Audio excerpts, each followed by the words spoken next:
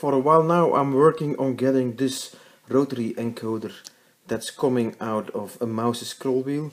I'm trying to make that work with a number of microcontrollers and this time I'm going to try to do that with the Texas Instruments Hercules family. So this is a Hercules RM46 launchpad. It has an EQEP module which is a quadrature encoder and I'm going to try to make this uh, rotary encoder uh, work with that module and get the count of my turns out of the microcontroller.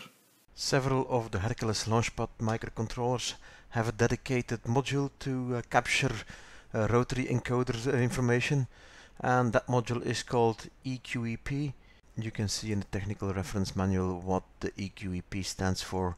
It's too difficult to pronounce for me but the documentation is quite good. It explains the whole principle of uh, encoding and decoding and how the peripheral is handling that. And to make a rotary encoder work with Halcogen is not that difficult. So in the Halcogen, the hardware abstraction layer code generator tool, uh, you have to do a few things and you're almost done. You have to enable that uh, EQEP driver and in the pin mux, the multiplexer, you have to set that you are going to use the EQEP pins and it will automatically mark all the EQEP pins as uh, set. And then on the EQEP tab, uh, you have to do a few settings. We're going for quadrature count. I'm leaving uh, several things as they are.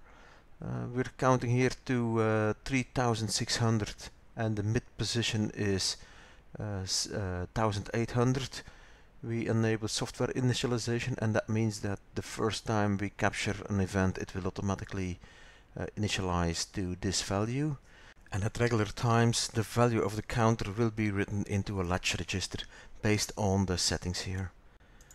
In Code Composer Studio we don't do a lot. We enable the quadrature encoder module, we enable the counter, the unit timer and the capture and then each time when we check in the register that there is something latched we read that latched value and log it to the output window. The program is running here so I'm going to turn to the right and we'll see that it's counting up. I'll turn to the left now and we'll see that the thing is counting down. So that works